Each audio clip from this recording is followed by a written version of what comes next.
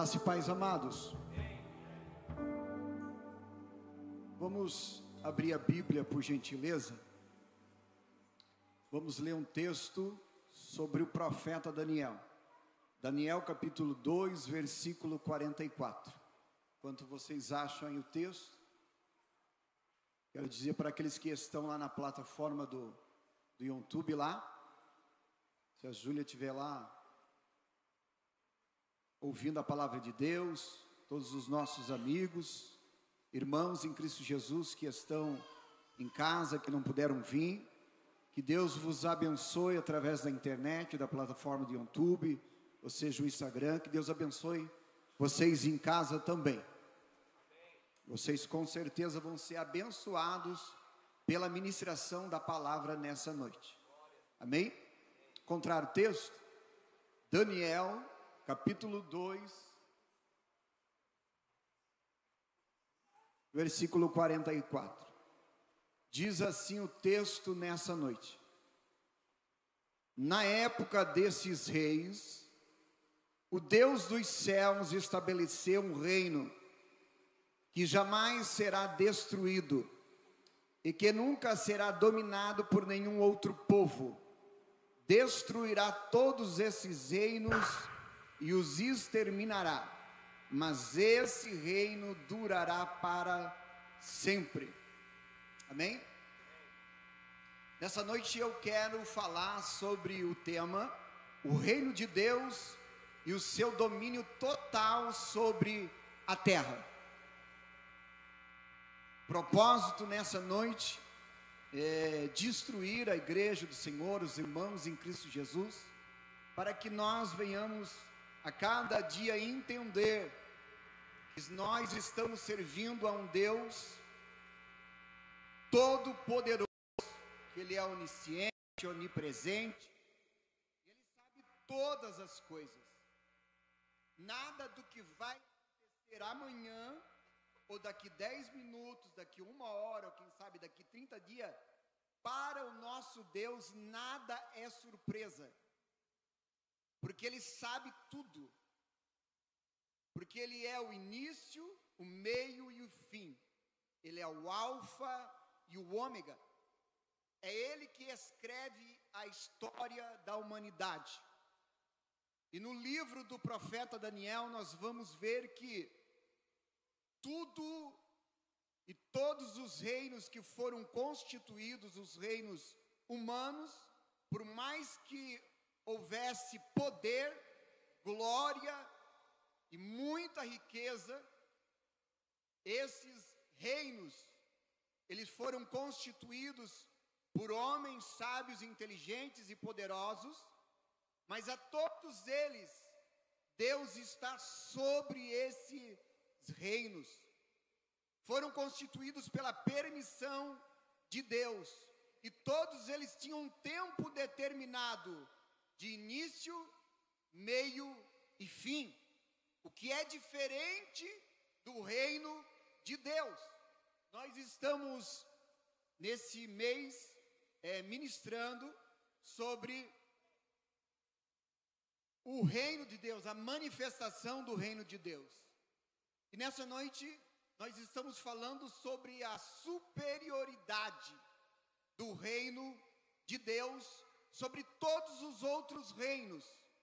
E o nosso Deus, ele é tão poderoso que ele usou os profetas e todos aqueles que estudam os profetas, seja os profetas é, que têm livros maiores ou os profetas menores que têm livros que têm menos capítulos, mas todos eles são constituídos de profecias do que Deus saberia o que ia acontecer daqui mil, dois mil anos, e Deus avisou antes, falou com alguém, como um dos profetas, seja ele Zacarias, é, Ezequiel, Daniel e tantos outros profetas, como Amós, Deus falou antes de acontecer, e Deus disse: registra a profecia, para que quando acontecer o meu povo Israel e futuramente a igreja, saibam que eles estão servindo a um Deus que tem o total controle da história e que Deus nunca é pego de surpresa. Então é importante você criar essa fé no teu coração e ter esse conhecimento para que você esteja estruturado na palavra e saiba que você está servindo a um Deus que sabe tudo o que vai acontecer na tua vida. Ele sabe tudo o que está acontecendo na tua vida. Ele conhece o teu passado. Ele tem o total controle da história. Ainda que sejamos personagens da nossa história, e que a nós nos cabe fazer as decisões certas, e que a nós, filhos de Deus, cabe-nos tomar as decisões e andar no caminho dos princípios e dos mandamentos de Deus. Nos cabe a nós, para que então possamos ter sucesso. Ainda que o nosso Deus, ele conhece o futuro e sabe tudo o que vai acontecer daqui um ano, mil anos, se nós não escolhermos andarmos nos princípios e mandamentos de Jesus, o próprio Deus já avisou na Sua palavra que nós não seremos abençoados. Porque quando nós estamos andando debaixo da potente mão de Deus, segundo os princípios do Senhor, aí o Salmo 91 acontece. Mil cairão de um lado, dez mil à direita, mas eu não serei atingido. Então, parte da minha responsabilidade em observar a palavra, que é a orientação para nós, para que então possamos desfrutar das bênçãos que Deus falou. Se a sociedade lesse mais as Escrituras, se essa geração lesse mais as Escrituras e entendesse que esse livro, ele é o livro mais vendido do mundo e que tudo que está escrito nele ou já aconteceu, ou está acontecendo, ou ainda vai acontecer, porque este livro, ele é profético.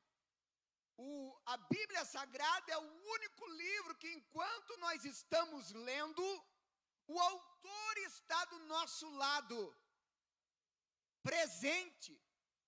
Ainda que esse livro levou 1.600 anos para ser constituído, e mais de 40 autores, onde cada um na sua época, na sua geração, não conhecia os outros profetas, ou que o antecederam, ou aqueles que iriam lá na frente profetizar e registrar o texto. Mesmo assim,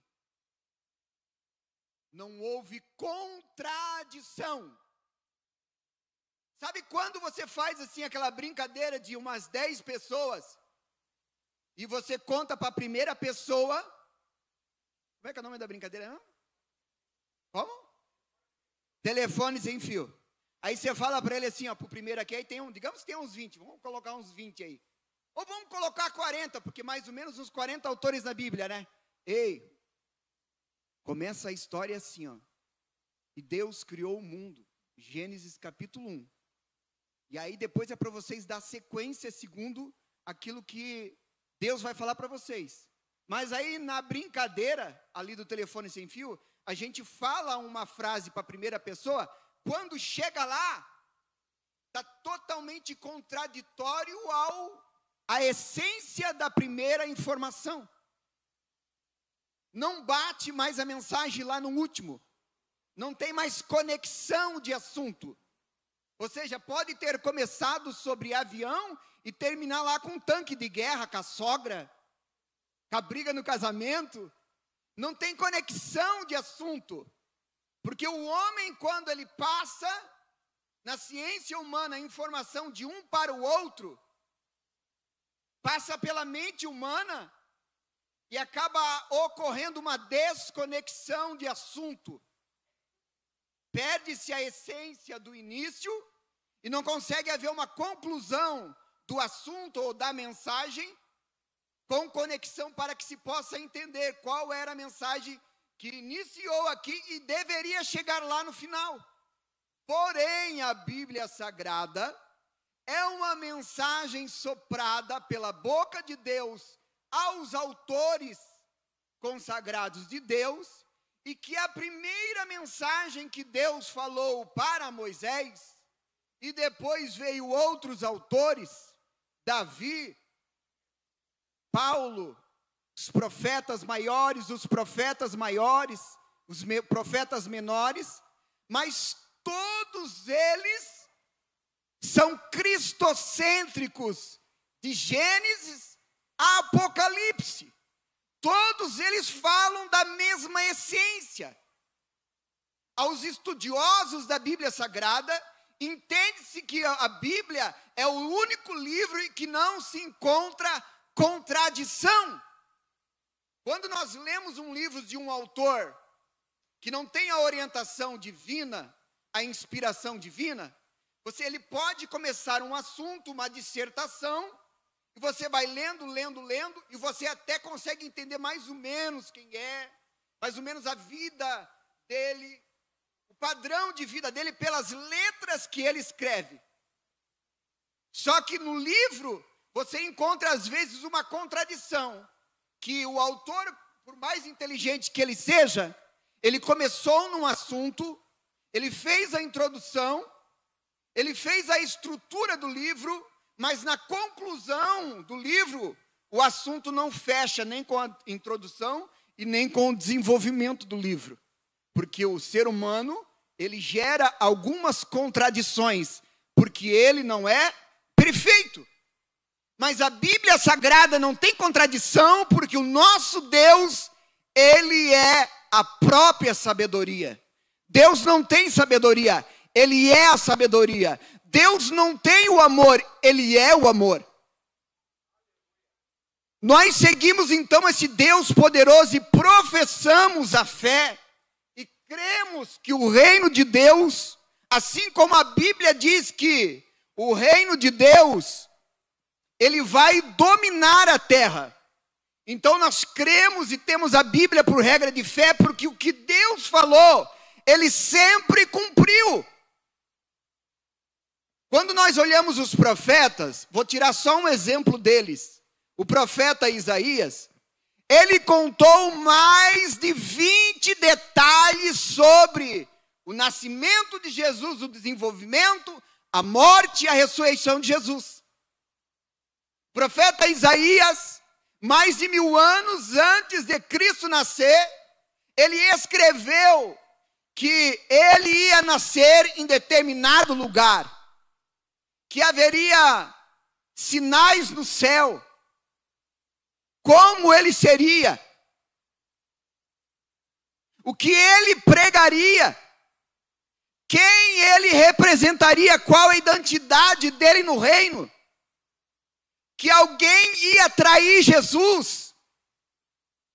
Tudo que Deus falou através do profeta Isaías se cumpriu certinho. Quem estuda a Bíblia sabe que as profecias do profeta Isaías, todas elas se cumpriram no ministério de Jesus. Tudo se cumpriu. É por isso então que eu e a igreja do Senhor temos por regra de fé a Bíblia Sagrada, porque ela é um livro inspirado por Deus. Foi registrado por homens, mas inspirado por Deus. Certo? Então tudo que Deus fala, ele cumpre. Todos os reinos então na terra, no livro de Daniel, Deus disse, através de um sonho, que esses reinos existiriam, mas teriam um fim. Mas o reino de Deus será eterno. Então, quando você ouvir que há porque o mundo vai acabar, o fim está chegando, porque vai vir um vírus e vai matar todo mundo, porque o Bush vai soltar uma bomba atômica em cima da Rússia, e a Rússia vai lançar uma bomba atômica em cima dos Estados Unidos, e a China também vai vir soltar bomba para quebrar o pau, e o mundo vai se acabar em, em bomba atômica.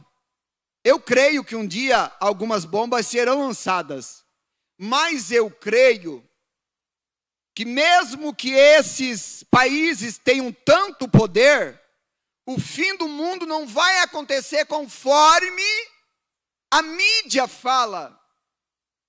O fim do mundo não vai acontecer como o mundo disserta. Mas o fim vai acontecer, mas não do jeito que eles falam. Porque a Bíblia Sagrada diz que nós, a igreja do Senhor Jesus, haveremos de ser arrebatado, e essa promessa está pronta para se cumprir e pode acontecer a qualquer momento agora. Seremos raptados, seremos arrebatados para o céu, conforme as profecias bíblicas nas cartas de Paulo. A igreja será arrebatada num piscar de olhos, e a Bíblia diz nas cartas do santo apóstolo Paulo que seremos arrebatados e sete anos lá no céu nós estaremos estaremos na festa chamada festa do Cordeiro. E aqueles que estão seguindo os princípios de Deus e obedecendo os mandamentos de Jesus, esses serão arrebatados. Mas serão quantos anos no céu? Quanto? Sete anos de festa no céu, de muita glória, e nós vamos conhecer tudo o que o do céu é maravilhoso. E vamos chegar lá e Deus vai limpar todas as lágrimas do nosso rosto. Todas as lágrimas Deus vai enxugar. Não haverá mais doença, depressão. Aqueles que têm problema de saúde hoje serão totalmente perfeitos.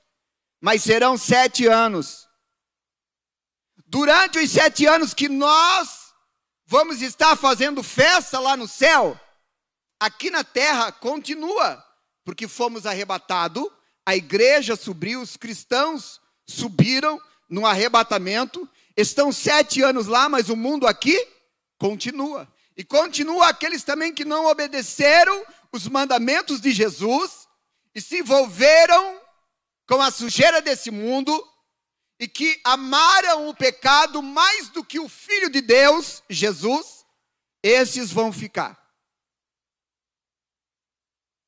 E aí, esses sete anos que nós estamos fazendo festa lá, muita festa, os sete anos aqui na terra, serão três anos e meio, diz a Bíblia. Por isso que é importante nós estudarmos os profetas, as cartas de Paulo, porque o que eu estou ministrando está escrito. Sete anos na terra, três anos e meio serão de paz, prosperidade, falsa prosperidade, falsa paz, com o cavaleiro branco do Apocalipse, o intitulado e identificado como Anticristo.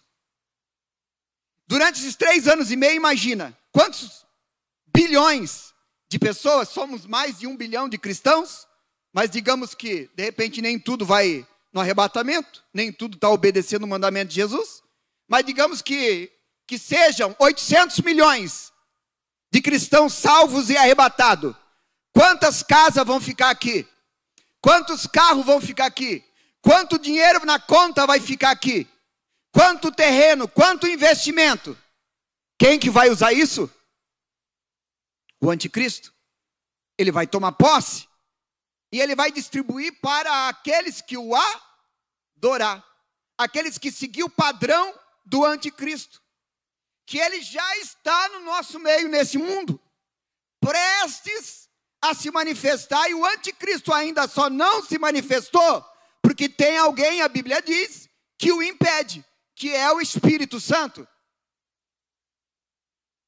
E aí, eles vão, nesses sete anos, vão distribuir riquezas, as pessoas vão amar o anticristo, Porque além de ele operar sinais nesses três anos e meio, ele vai distribuir as riquezas que eram nossa. Porque quando eu for arrebatado, eu já serei rico. As nossas palavras têm poder. E quem é carnal acha que isso é o quê? Exaltação do homem. Porque o homem carnal não discerne o homem espiritual. Mas quando eu for arrebatado, eu já vou ser rico. As riquezas minhas vai ficar para quem? Para aqueles que adotaram o padrão de vida, de comportamento, de pensamento, de ideologia, ideologia do anticristo. Mas a Bíblia diz que ao findar dos três anos e meio, ou na metade dos sete anos, o anticristo, ele vai enganar até Israel, o povo escolhido de Deus. E o anticristo vai em Israel, ele vai entrar no templo. Ele vai fazer uma aliança forte com Israel, e Israel vai se aliar com o anticristo, achando que ele vai ser um personagem que vai beneficiar Israel quanto às contendas que ele tem com o mundo todo. Porque Israel é escolhido de Deus e todo escolhido de Deus, o mundo odeia eles. Já viu que o mundo odeia Israel? O antissemitismo, por quê? Porque todos aqueles que são escolhidos de Deus, por mais que tu trate as pessoas bem, por mais que nós cuidemos do nosso comportamento, por mais que nós vigiemos, sejamos sábios, humildes, tratamos as pessoas com carinho, mas aqueles que são escolhidos por Deus, Jesus disse que vai chegar o tempo que as pessoas, quando estiverem matando um cristão, vão achar isso um favor à sociedade. Porque vem aumentando a cristofobia. Porque aqueles que são escolhidos por Deus, o diabo tem raiva. Tem um reino espiritual que comanda o reino físico.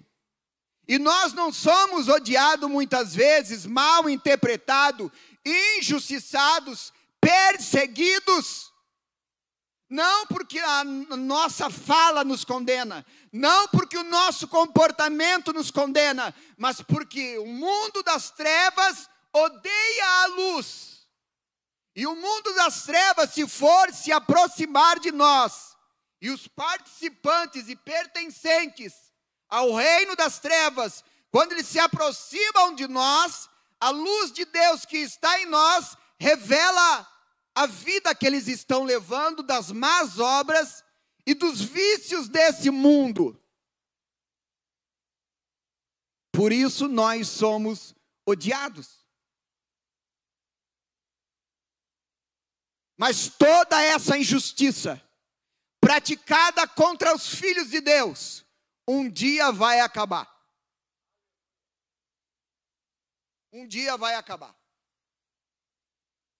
Porque há um Deus que falou que a igreja um dia, depois ali da questão do anticristo, que na metade dos sete anos, ele vai quebrar mandamentos que os judeus não aceitam. E quando o anticristo quebrar os mandamentos, os judeus e israelitas, eles vão entender que ele não é o escolhido de Deus o anticristo que fez aliança com eles. Israel até vai achar que ele é o Messias, o anticristo, porque ele vai operar sinais, ele vai trazer aquilo que Israel sonha, a paz na terra e a prosperidade, porque é isso que o verdadeiro Messias vai fazer no milênio. Porém, o anticristo, que se diz o salvador desse mundo, ele vai quebrar mandamentos, Israel vai expulsar o anticristo de Jerusalém. E o anticristo vai juntar todas as nações na batalha contra Armagedon, isso está nos livros proféticos, para tentar destruir Israel. A Bíblia diz no profeta Zacarias, capítulo 14, que quando todas as nações, principalmente, gravem China, Rússia, países africanos que são muçulmanos. E todos os países com ideologias de esquerda, porque toda a ideologia de esquerda, ela é contra a palavra de Deus, porque a palavra de Deus está fundamentada em alguns princípios da família tradicional. E aí, as nações virão em Jerusalém, tudo isso vai ser gravado ao vivo. Isso vai acontecer, por quê? Porque é profecia. Deus falou, vai acontecer.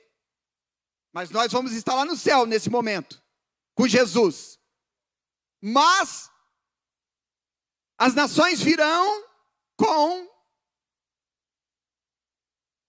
muitos exércitos, vão chegar diante de Israel no vale de do Armagedon, que é a leste de Jerusalém, e vão tentar destruir com todos os equipamentos poderosos e modernos a Israel. Mas a Bíblia diz em Zacarias 14 que o Senhor Deus e os seus santos descerão sobre o Monte das Oliveiras. O Monte das Oliveiras vai se partir em dois. E a mão do Deus Todo-Poderoso será contra todo o exército que tentar destruir aqueles que são escolhidos por Deus. Israel, o povo escolhido por Deus. Após a batalha do Cristo Todo-Poderoso, em Israel contra todos os exércitos que serão humilhados pelo poder do nosso Cristo, inicia-se a constituição, a finalização do reino de Deus. Jerusalém celestial, com os santos, a Bíblia diz que ela descerá a pouco da terra. E que o mundo será administrado pelos santos do Senhor, pelo Cristo Deus Todo-Poderoso, por sua igreja lá de Jerusalém. Todas as nações da terra que hoje tentam matar os cristãos, muçulmanos, antissemitas, ideologia de esquerda, hoje eles humilham e cometem injustiça contra os cristãos. Mas no milênio que será constituído por Jesus Cristo na terra, nós seremos honrados, exaltados. As nações terão que vir até Israel para adorar ao Senhor em Jerusalém. Hoje a adoração ela é livre arbítrio. No milênio as nações terão que ir adorar ao Deus Todo-Poderoso lá em Jerusalém. A Bíblia diz que nesse milênio de paz, que nós ficamos só sete anos lá só, e voltamos para a terra, toda a terra será restaurada. Os animais voltarão a ser vegetarianos, herbívoros, né? As crianças poderão brincar com os leões. Isso é o milênio, isso é a Bíblia. Mas por que a igreja muitas vezes não sabe disso? por falta, muitas vezes, da gente buscar esses temas e propiciar a igreja desse conhecimento. Então não fique assim preocupado, ah, porque vai acabar o mundo, vão destruir com a bomba atômica, todo mundo vai morrer de uma doença. Ei, Deus está no controle. Antes de Biden tocar no botão da bomba atômica, tem um Deus que controla pulmão, coração. Antes que o Putin Toque no botão da bomba atômica e destrua, destrua o planeta ou a metade do planeta, porque eles têm bomba para isso. Existe um Deus poderoso que controla o coração, que pode tapar o narizinho dele, que pode tocar o coração dele e ele parar. Se Deus quiser, ele nem chega perto do botão, porque quem está no controle da terra, do universo, não são os homens e os países poderosos é o nosso Deus, é o Deus da igreja, é o teu Deus. Isaías 14, 26 e 27 diz que esse é o plano estabelecido para toda a terra, essa é a mão estendida sobre as nações. Pois esse é o propósito do Senhor dos exércitos. Quem pode impedi-lo?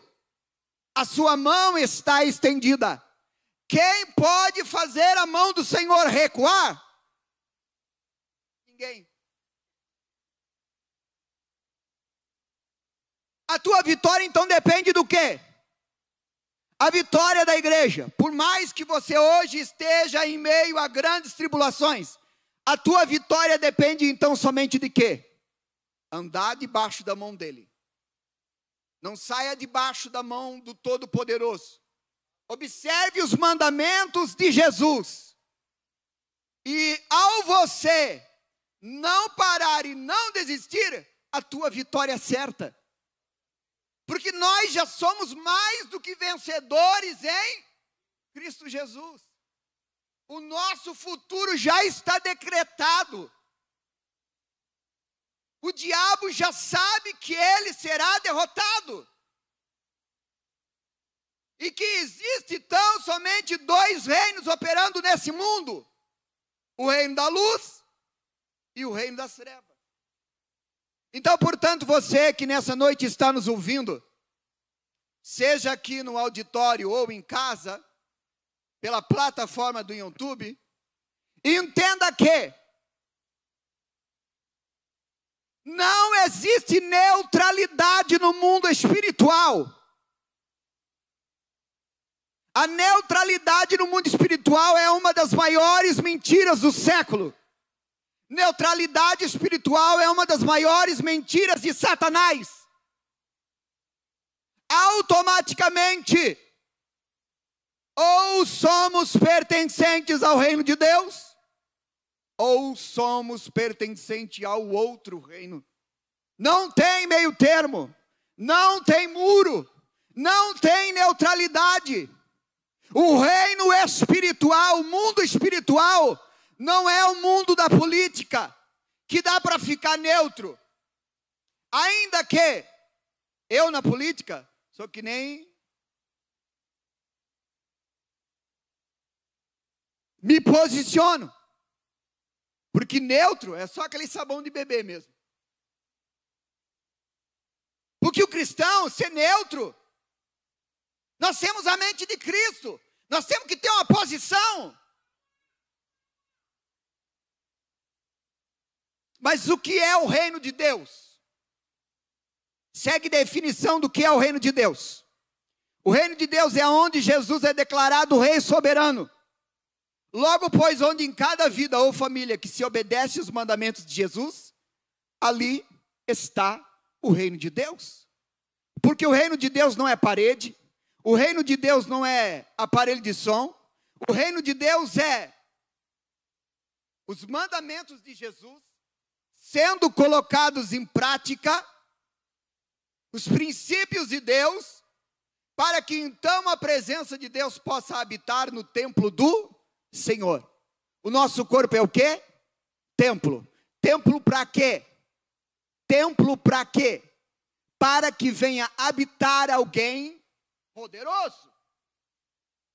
Para que eram feitos no Antigo Testamento templos e reinos para que ó, pessoas poderosíssimas viessem a morar naquele lugar. Nós somos o templo do Espírito para que o reino de Deus possa habitar em nós. Isso é o reino de Deus. Mas e onde os mandamentos de Jesus não são praticados e observados? Qual o reino então que essas vidas estão sendo pertencentes? Não tem neutralidade. Obedece os mandamentos de Jesus e Jesus disse: sem mim nada podeis fazer. A Bíblia diz em Tiago que de uma boca não pode verter água doce e água salgada. Uma árvore não pode produzir dois frutos. Porque não tem neutralidade, ou é de um lado ou é de outro. Ponto. Então existem dois reinos que comandam esse mundo. E tudo que é constituído na terra, primeiro ele é constituído no mundo espiritual. Tudo. Até para você nascer, antes de você nascer, você primeiro foi constituído no mundo espiritual. Porque a Bíblia diz que Deus viu os escolhidos dele ainda informe. Há um projeto que primeiro acontece no mundo espiritual, depois se estabelece no mundo físico. Ou então somos governados pelo reino de Deus ou pelo reino das trevas.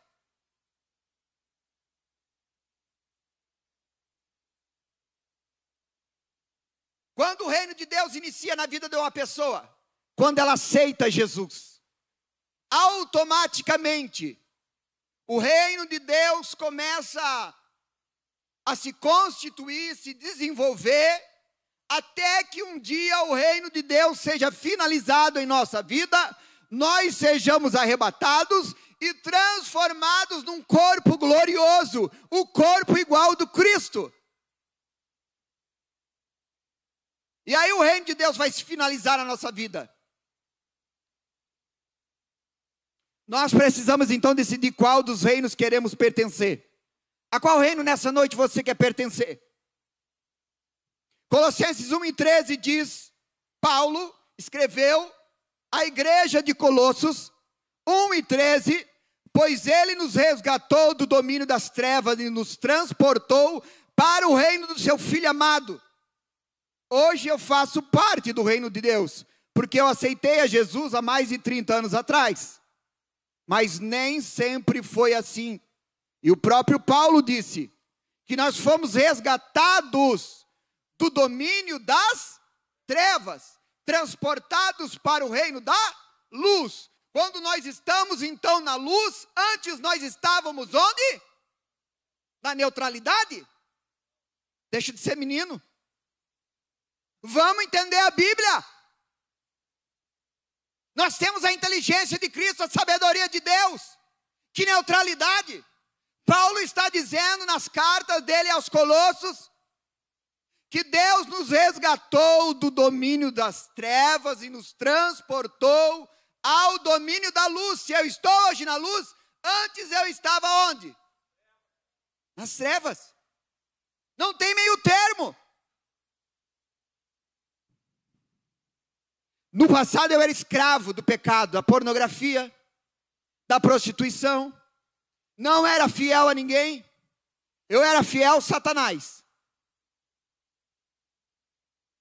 Eu era um perturbado, porque eu estava no reino das trevas.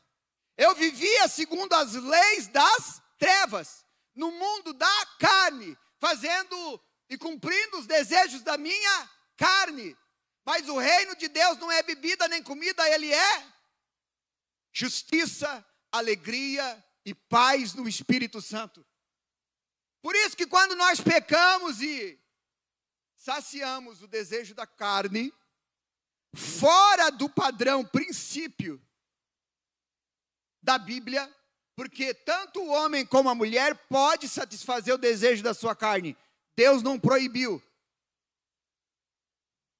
Deus criou esse botãozinho aí para você ser feliz mesmo. Mas dentro do padrão estipulado pela palavra, sempre pela Bíblia.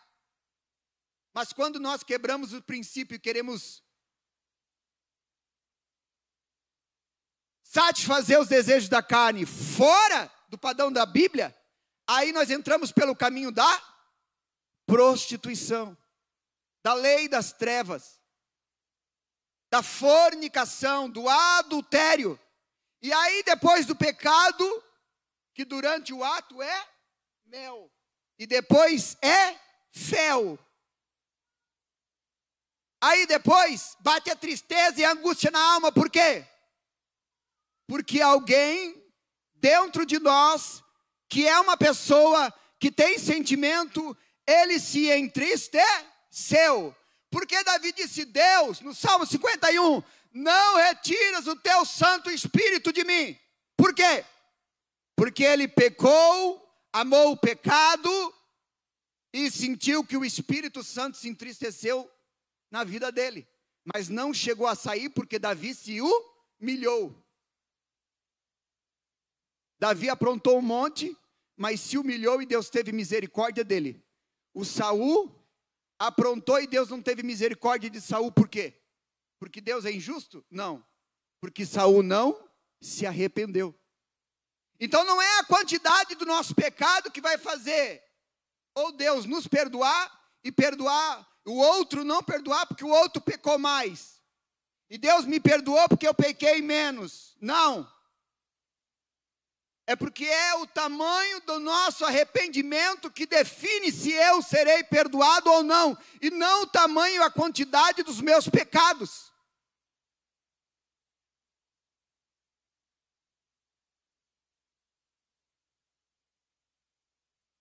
Como definir? Como saber? Como discernir se eu ou alguém ou nós pertencemos ou ao reino de Deus ou ao reino das trevas? Só ouvir. Tu ouve uma pessoa, ela abre a boca, tu já sabe se é do reino da treva ou se é do reino da luz. Quem é do reino da luz, ele tem uma boca. Tito, capítulo 2 e 10. Boca, e vocabulário são irrepreensível para que ninguém tenha nada do que vos acusar. Linguagem sã e irrepreensível. O reino da luz é assim, o cidadão da luz é assim, mas o cidadão da treva virou moda agora. Virou moda. Tudo é palavrão, tudo é. Eles falam assim com aquela. O mundo das trevas, os cidadãos das trevas, eles têm um prazer enorme em falar palavrão, no meio do público. Vai fazer uma palestra num lugar, nem de português não entende, nem o português não sabe falar direito. Mas aí acha bonito falar palavrão no meio do pessoal. E ainda pergunta o besta ainda. Ah, aqui tem algum problema de falar palavrão? Claro que tem besta. Besta quadrada. Agora a gente estuda, paga para entrar num lugar para ouvir uma palestra, tem que ouvir ainda um desbocado, mal educado, sem cultura, ainda falar palavrão? Me poupe, né? Só tolo que paga para entrar numa palestra aonde o conteúdo da palestra é palavrão, prostituição. Mas o reino da luz é diferente no abrir da boca, na forma de andar. Por mais que a gente está com dinheiro no bolso, está contente, passou por aquele love. A gente anda, como é que a gente anda, Alexandre? O goleador, o Messi. Como é que a gente anda? Ela morar, né? Olha para a mulher assim. Pai, é fera, né? Empolgadão, né? Mas por mais que a gente ali ande empolgado, que a gente está bombando, a gente não tem um comportamento o quê? De uma vida sem o Espírito Santo. Nós somos diferentes. Às vezes eu envolvido em projetos de empreendedorismo, ao palestrar para algumas pessoas, escapa, mas não palavrão, escapa a linguagem bíblica. Aí eu digo, meu Deus, não posso aqui. Não posso. O que é diferente que está acontecendo hoje em meio à igreja? Sobe no púlpito e sem querer escapa um palavrão. Todo mundo é falho. Até eu pode, de repente, acontecer de escapar alguma coisa. Mas o, o hábito, o hábito em outros lugares, nos leva a, quando chegarmos aqui, manifestar aquilo que nós estamos vivendo lá no oculto. Por isso que a nossa linguagem tem que ser sã e irrepreensível, bíblica. Pode falar umas palavrinhas modernas? Pode. Mas a boca tem que ser uma boca de um cidadão do reino de Deus. O conteúdo que você comunica para as pessoas tem que ter um conteúdo de Deus. Então é fácil entender quando alguém está delimitado dentro de um espaço que não é o reino de Deus. Até uma criança percebe.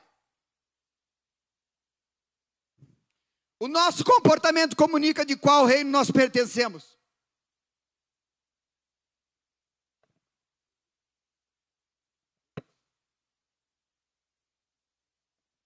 Ser mais rápido, cara. Vou dar na velocidade 2 ali do WhatsApp. O nosso comportamento comunica de qual reino nós pertencemos. Mesmo que nós não, não venhamos nos posicionar por nenhum dos reinos, seja o reino da luz ou das trevas. Porém, a Bíblia diz que um deles foi Dá para ser assim, não dá, né? Lindão, né, cara? Mesmo que nessa noite nós não venhamos nos posicionar no reino de Deus. Seja para o lado do reino de Deus ou do reino das trevas. Aí eu vou ser neutro. Porém, a Bíblia diz que um deles está predominando na nossa vida. Aí não tem como você esconder, amigo. Aí eu estou perto do pastor, eu sou do reino da luz. Aí eu estou lá a um mil quilômetros, no outro país largado, largado no mundo dela, solteiro. Tu tá com Satanás no coro, isso sim. Tiago 3, 10 e 14 diz que da mesma boca não pode preceder bênção e maldição.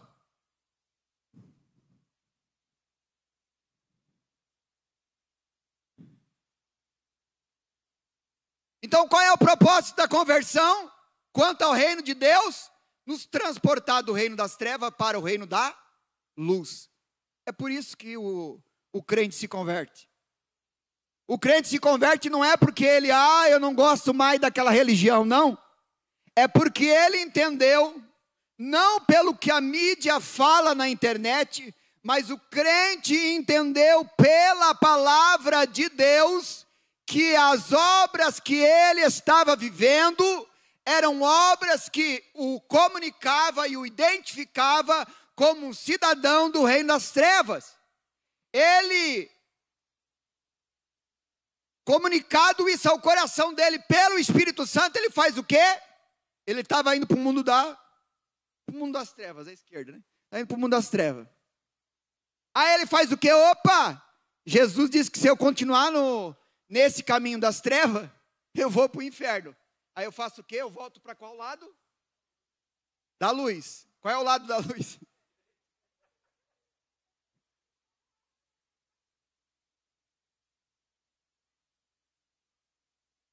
Isso é conversão. É o saber que eu estou indo para um lado que é errado, que bate contra todos os princípios da Bíblia, família,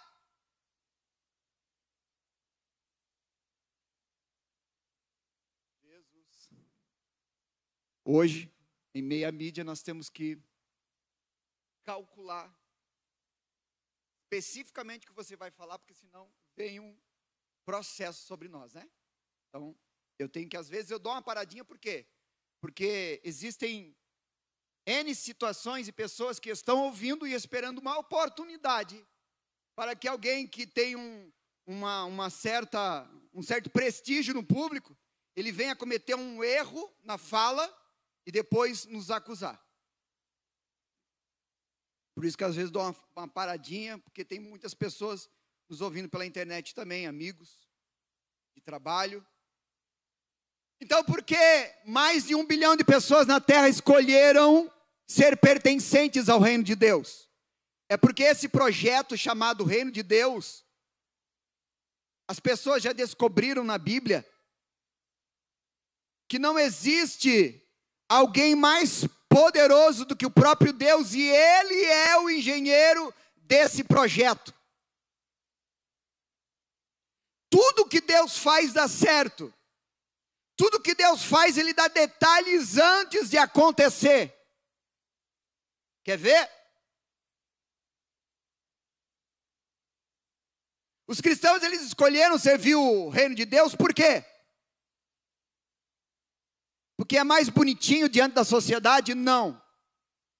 É porque o Deus que está com aqueles que estão no reino de Deus, ele é mais poderoso do que aquele que está no mundo.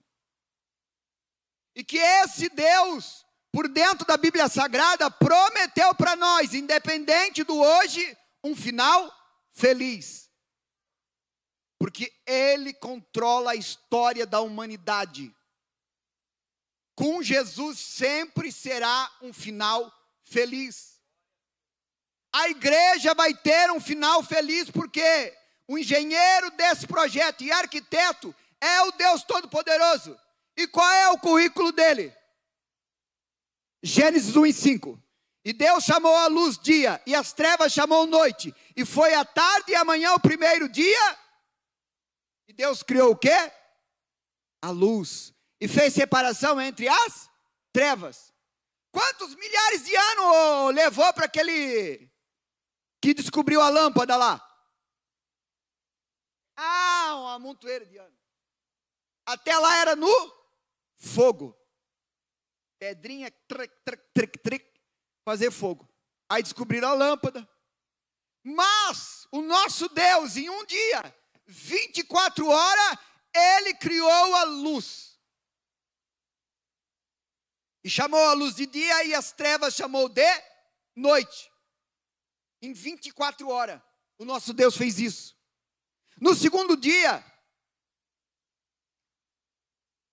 ele, Gênesis 1 e 8, ele chamou a Deus a expansão dos céus e foi à tarde e amanhã o segundo dia.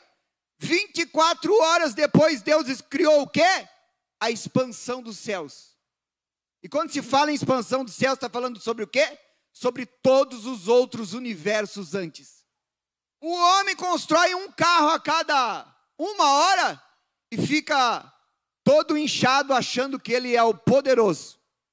Um país tipo a China, Estados Unidos e Rússia consegue construir um porta-aviões por ano e acha que eles controlam o mundo. O nosso Deus criou as baleias, todos os seres marinhos, em Gênesis, em 24 horas. E as baleias atravessam o oceano inteiro e não precisam de energia nem nuclear, nem diesel.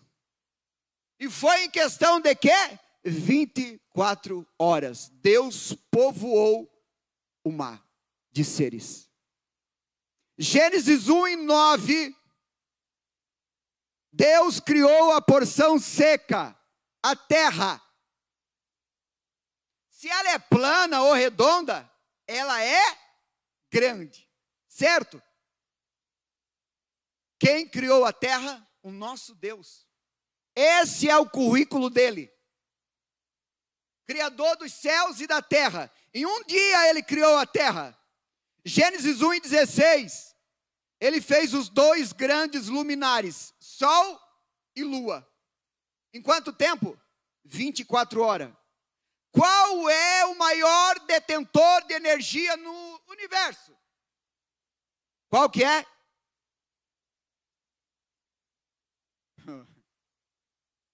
Sol. O maior detentor de energia do mundo é o Sol. É o mais poderoso. Deus criou o quê? Criaram a bomba atômica há quanto tempo? Lá por 1935, por aí, né? Levaram quase dois mil anos para criar a bomba atômica. Deus criou o sol em 24 horas. E a Bíblia está ali para o homem ler a Bíblia e adorar a Deus, e não adorar o homem. Então nós, quando alguém diz, ah, aquela igrejinha serve o Cristo, Jesus dele, como tem umas ideologias ideologia aí, que dizem que nós servimos um deusinho, um Deus que ele é o que controla o oxigênio. Ele que criou a água, ele criou tudo. Então, o currículo de Deus, em Gênesis 1 e 21, e Deus criou as grandes baleias e todo o réptil de alma vivente que as águas abundantemente produziram. Em 24 horas, no quinto dia, Deus criou as baleias. Gênesis 1, 27. E Deus criou o homem à sua imagem, imagem de Deus os criou, o homem e mulher os criou. Agora que os homens estão construindo, conseguindo construir robô. Mas é, como é que é o robô, por mais que seja moderno? No Japão, na China, na Rússia, os robôs estão assim, né?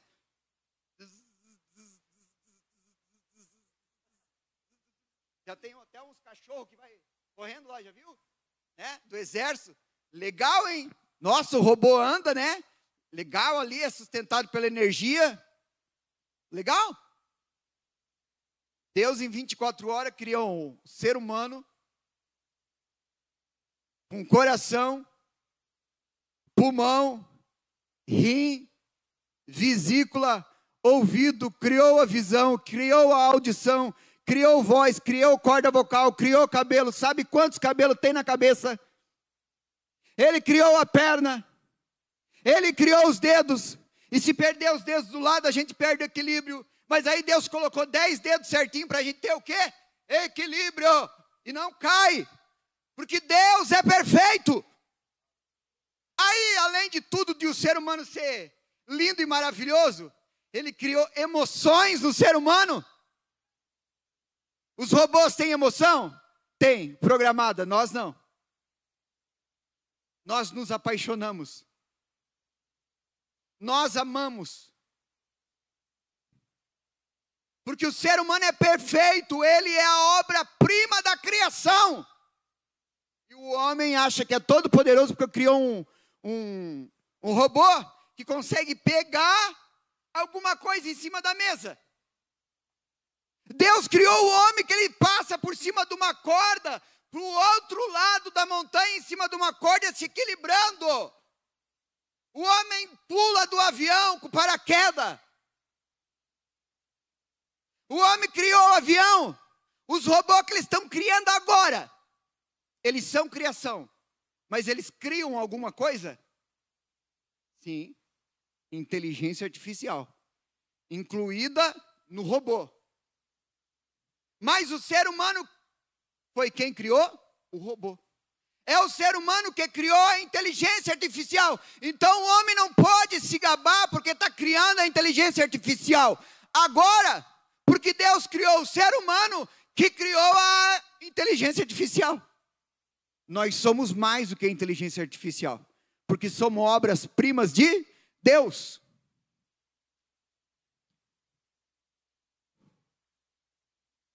Em Daniel, no capítulo 2.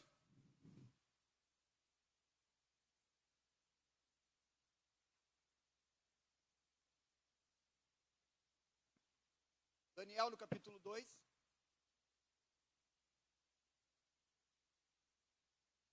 Deus, ele deu um. permitiu um sonho para o Nabucodonosor, rei da Babilônia. E ele perdeu o sono, sonhou mas quando ele acordou, ele não lembrava do sonho. Aí ele chamou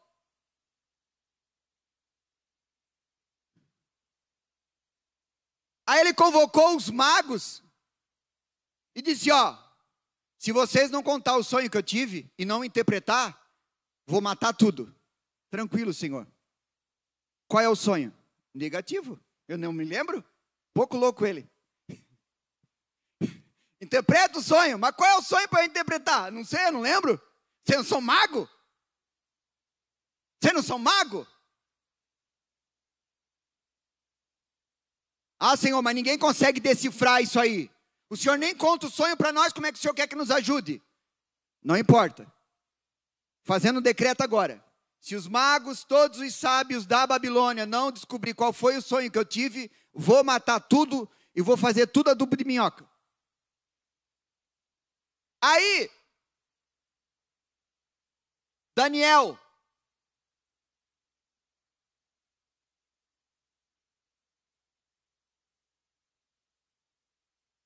Aí, eles com medo, Daniel ficou sabendo da situação e ele também era um dos sábios. Vou morrer, o que eu vou fazer? Daniel foi orar e buscar a Deus a interpretação desse sonho.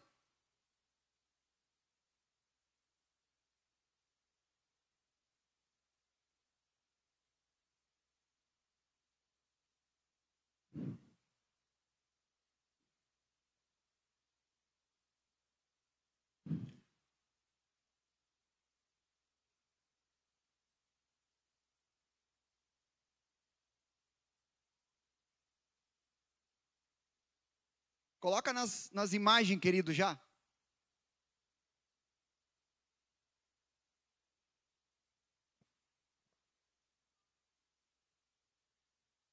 Então o rei teve um sonho, e o sonho era o quê?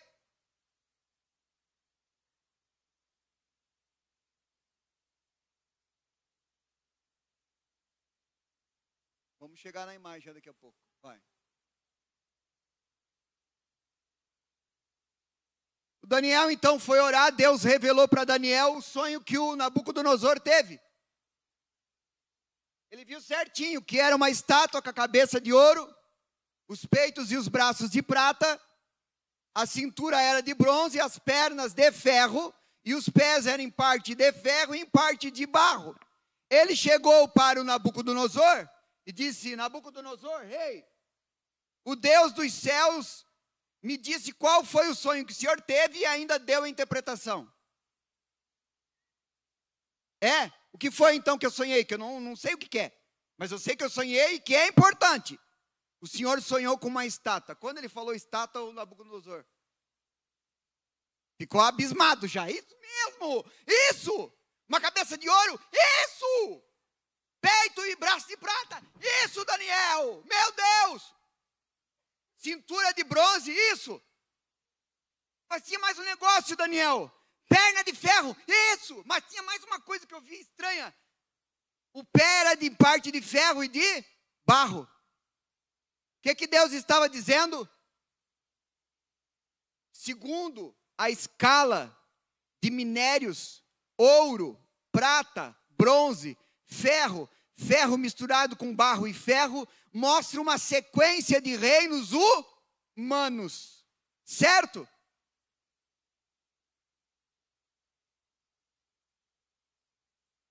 Rei, tu viste uma grande estátua. Tu viu a cabeça de ouro, peito e braço de prata, cintura e coxas de bronze, pernas de ferro e pés em parte de ferro e barro. E ainda vi também Nabucodonosor. É, eu estou sentindo falta de alguma coisa, parece que o meu sonho não está completo, Daniel. É, eu vi uma pedra não cortada por mãos de homem, que veio do céu e bateu contra a perna e destruiu a estátua. Nabucodonosor ficou o quê? Impressionado, impactado. Daniel disse assim: agora eu vou interpretar para o Senhor os sonhos. Está entendendo o Deus que você serve? Ele contou toda a história milhares de anos antes de acontecer, e se você for em uma biblioteca ou na internet e consultar Assim como na história foi registrado os reinos, cada um na sua época, cada um com o seu poder, se cumpriu igualzinho o sonho e a interpretação de Deus, porque Deus nunca erra. Essa estátua representa o governo humano sobre a terra que vai se fragilizando até ser totalmente destruído e substituído pelo poder de Deus, através de Jesus Cristo, que é representado pela pedra. Quantas vezes Jesus disse que eu sou a rocha? Várias vezes na Bíblia. Isso é muito fácil para os cristãos. Eles sabem que Jesus é a rocha. Mas os reinos, eles foram decaindo de poder.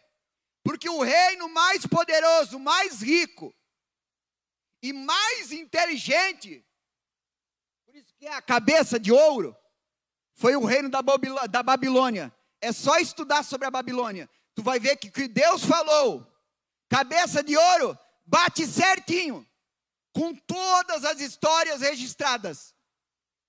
Peito, braços de prata.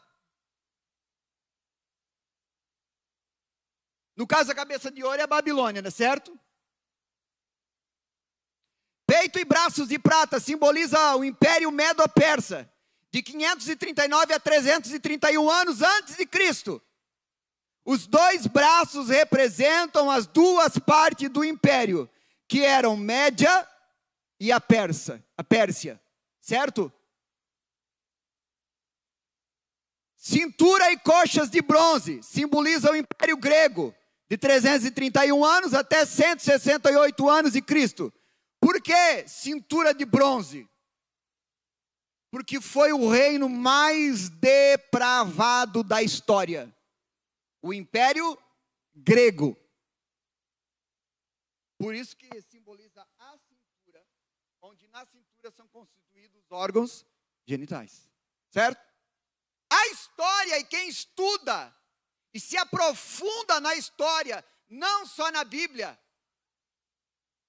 mas nos livros históricos, sabe que o Império Grego, ele foi o terceiro império e o mais depravado da história. Nem Roma foi tão depravado como o Império Grego.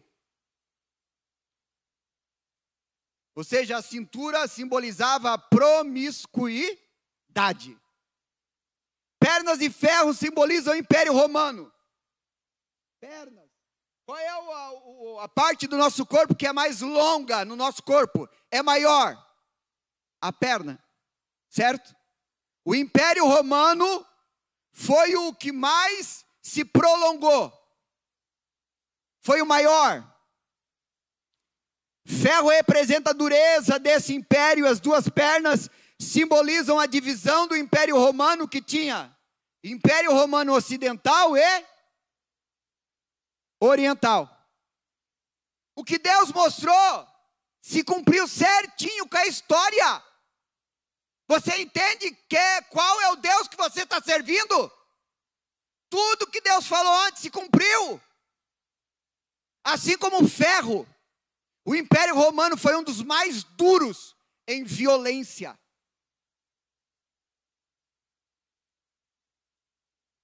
Pés de ferro misturado com baso, barro. Simboliza as nações modernas. Do ano 476 depois de Cristo, 476 depois de Cristo, que até ali predominou o quarto império, que é o império de Roma, o império de pernas, né? De ferro. Depois de 476, depois de Cristo, até hoje os países tentam se misturar, assim como a profecia do livro do profeta Daniel. O ferro tenta se misturar com o barro, mas não conseguem ter unidade. Porque um tenta dominar o outro. Porque um é barro, é mais frágil, o outro é mais forte financeiramente. Vamos dar um exemplo de um: Europa. Na Europa tem países ricos e tem países mais pobres, com menos poder financeiro. As ONUs, as organizações da Nação Unida, têm tentado unir os países há quanto tempo? Desde a fundação deles. Conseguiram? Não. China tem um bloco com a Rússia. Estados Unidos tem outro bloco. Israel tem outro bloco. E ninguém consegue unir os países nesse mundo. Qual é a proposta do anticristo? Unir todos os países. Mesmo assim, eles não conseguem acabar com as guerras, porque sempre um país quer dominar o outro. Então, os pés em parte de ferro e barro, os dez dedos, são dez nações que dominaram o mundo. Ferro, dureza, questão financeira mais forte, e o barro fala sobre a fragilidade de alguns países que estão nesse último reino antes do reino de Deus finalizar na terra com o milênio de paz.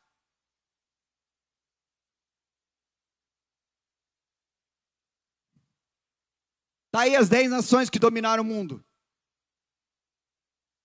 Certinho conforme a Bíblia diz, há milhares de anos atrás. Itália, Suíça, Portugal, Espanha, Reino Unido, França, Alemanha, Rússia, Japão, Estados Unidos, e depois dos Estados Unidos está se levantando quem? China. Mas até agora se cumpriu certinho. Mas a Bíblia diz que virá um reino, que é aquela bola ali, que é uma rocha. Estou bom eu de imagem, né? É o reino de Deus. A enorme pedra derrubando o reino do mundo é Jesus em sua segunda vinda. Jesus é a rocha eterna, em Atos 4, 10 e 11. A rocha é usada como símbolo de Cristo.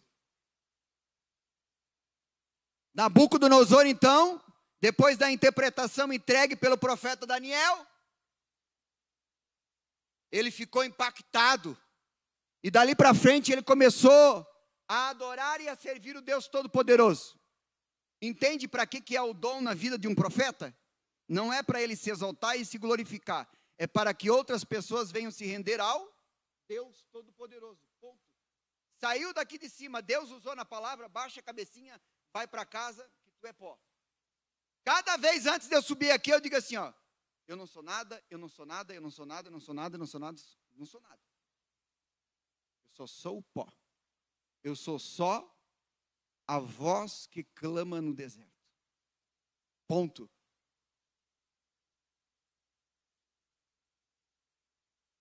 Jesus virá para ser o único rei dos reis. A primeira vinda de Jesus, Jesus veio em corpo físico e iniciou o reino de Deus. E quando ele começou a pregar, ele disse assim: ó, é chegado o reino de Deus na terra. Ele iniciou a constituição. Na segunda vinda de Cristo, que não vai acontecer diante dos, dos olhos humanos, vai acontecer o arrebatamento. E nós vamos para o céu ficar quantos anos? Sete. Depois nós voltamos. E aí Cristo vai descer lá em Jerusalém e vai constituir o reino de Deus. Por quê?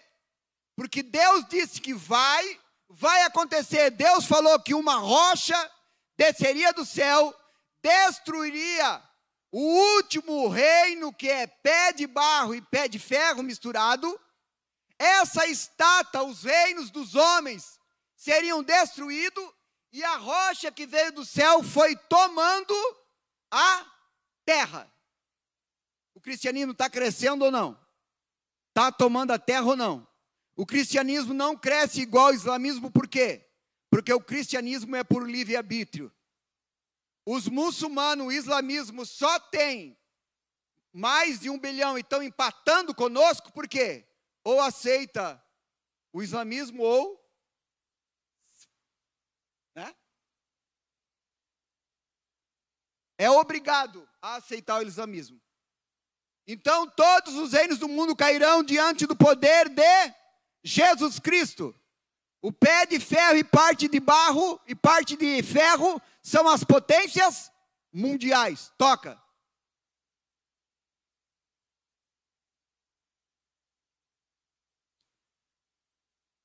Para me encerrar.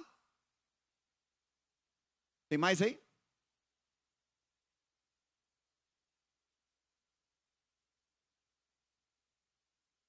Amém. Nos colocamos em pé, queridos, por favor.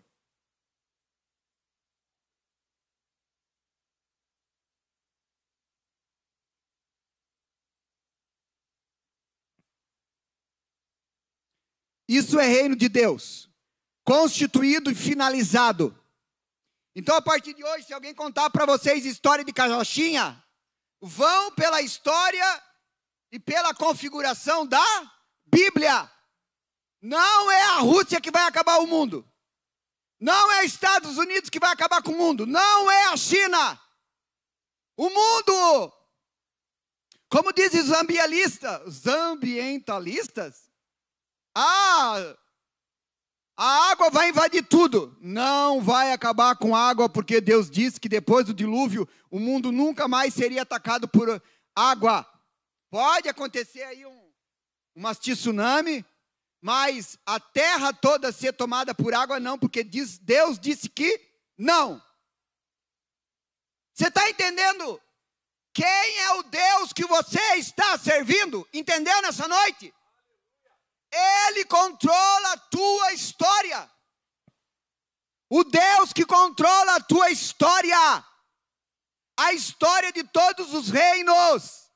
Antes de acontecer. Ele não pode cuidar da tua vida. Que fé é essa? O Deus que criou o universo, tudo. O Deus que alimenta elefante todo dia, leões de carne todo dia, não pode colocar filé mignon na tua casa? É, é não bate, não dá certo. Um Deus que alimentou 3 milhões de pessoas no deserto, Israel, com carne, pão de mel todo dia. Ei, sabor de mel. Vocês comem mel todo dia? Só os ricos aí, né? Mas Israel todo dia comia pão com sabor de mel. E quando eles pediram carne, Deus disse assim: Eu vou mandar carne para vocês. Soprou. Pegou um. Não é bando, é, eu acho que é bando, né? De um monte tipo de umas codornas lá. Derrubou tudo no arraial dos judeus. Agora o Deus que sustentou 3 milhões de pessoas, tudo esfomeado, mas gente esfomeada, sabe? Morda da fome. Sabe o que é um morda da fome? Aquele com vida assim? Meu Deus. Se tu não grudar na última fatia da pizza, tu não vê a pizza na tua na frente. Assim eram os judeus. Agora o Deus que sustentou 3 bilhões de pessoas no deserto com carne da melhor espécie. Diz os historiadores e estudiosos que a carne que foi oferecida para Israel, carne de primeira, fina. Não pode te sustentar como alcatra? Por gentileza, vamos orar. Por gentileza. Tem alguém que nessa noite quer aceitar Jesus? Entregar a tua vida para o maior engenheiro do mundo. Aquele, o homem se gaba que tem uma faculdade, duas, três. Deus detém todos os títulos de faculdade. Ele é perito em tudo. Ele anda sobre as águas. O homem surfa, anda de barco e se acha o Todo-Poderoso. Voa com o avião e Deus salta sobre os montes. O homem consegue ver uma estrela e Deus chama todas elas pelo nome. O homem criou o fogo e Deus anda no meio do fogo. O homem faz um bolo, o confeiteiro fica todo bobinho. E Deus criou o maná com sabor de mel. De quem era a receita? Do Deus Todo-Poderoso. Amados, eu quero orar, eu preciso entregar aqui para o pastor Alain. Preciso da cooperação de vocês. Aqueles que querem oração. Tem alguém que quer aceitar Jesus? Ei! Jesus não é produto de loja do 12 nem do 13. Tá, tá bom? Ele é o Deus Todo-Poderoso. Quer aceitar Jesus nessa noite? Vem cá rápido, vem. Vem. Está acorrentado? Jesus, quebra as correntes aí, deixa as almas. Em nome de Jesus, Satanás, larga as almas. Mais alguns minutos para você aceitar Jesus e vou orar. Ei, quem segue o Deus Todo-Poderoso, ele não precisa correr atrás da bênção. A bênção de Deus corre atrás dele. Quem tem capacitação e paga o preço para isso, ele não precisa correr atrás de emprego. O emprego corre atrás dele. Pegou? Fica achando que tudo é Deus que tem que fazer milagre. Vai estudar. Vai se capacitar. Porque aí o emprego vai correr atrás de ti, tu vai dizer assim: não, não, não, esse não. Esse também não. Não, eu quero ganhar mais. Não, eu quero esse aqui. Não, eu quero esse aqui. Capacitação. E a bênção de Deus é a mesma coisa. Ele segue os mandamentos de Jesus, Ah, ele, ele, ele não corre atrás da bênção, a bênção corre atrás dele. Vou orar então. Pai, no nome do Senhor Jesus. Pai, no nome de Jesus. Deus Todo-Poderoso, nessa noite, é o Deus que controla todos os reinos. Liberta nessa noite, Deus. A depressão não é nada para ti, Jesus. O câncer não é nada para ti, Jesus. A fraqueza na mente não é nada para ti, Jesus. A ansiedade não é nada para ti, Jesus.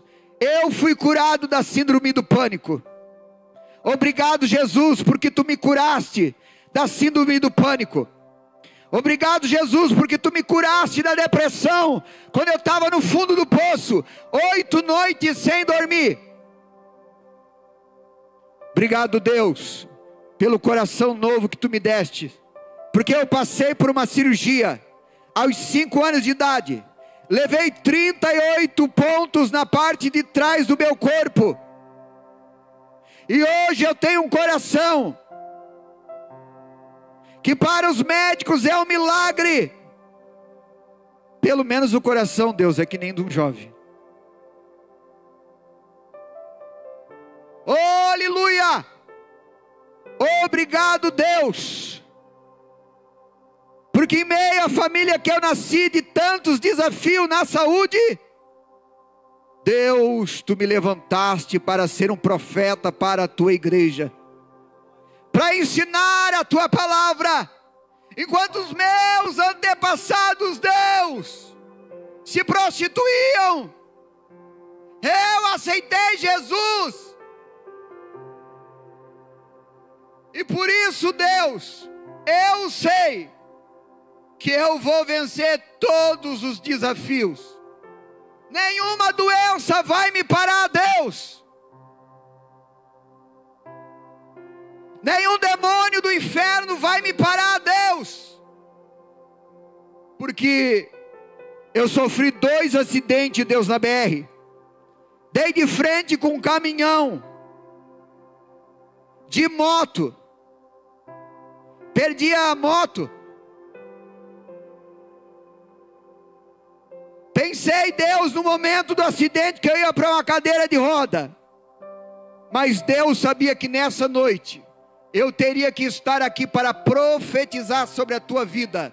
Debaixo da unção do Espírito, cresça, multiplicai-vos, enriqueçam, tenham saúde, tenham casamento abençoado, leite abençoado, leito abençoado. Tenham crianças abençoadas, tenham uma vida financeira abençoada, tenham uma vida emocional abençoada, tenham uma alma agora cheia da alegria do Espírito de Deus. Não tenhais medo. Sejam libertos de todo medo nessa noite. Deus, tu me guardou, me livrou. No fundo daquela lagoa, quando eu estava morrendo afogado, e mesmo sem te conhecer, eu clamei a ti e disse: Deus, me tira do fundo dessa lagoa, não deixa eu morrer aqui, porque tu sabia que hoje eu teria que estar aqui para entregar maná do céu para a tua igreja. Deus, enriquece os empresários nessa noite, cura crianças, cura alma, em nome de Jesus. Pastor Alain.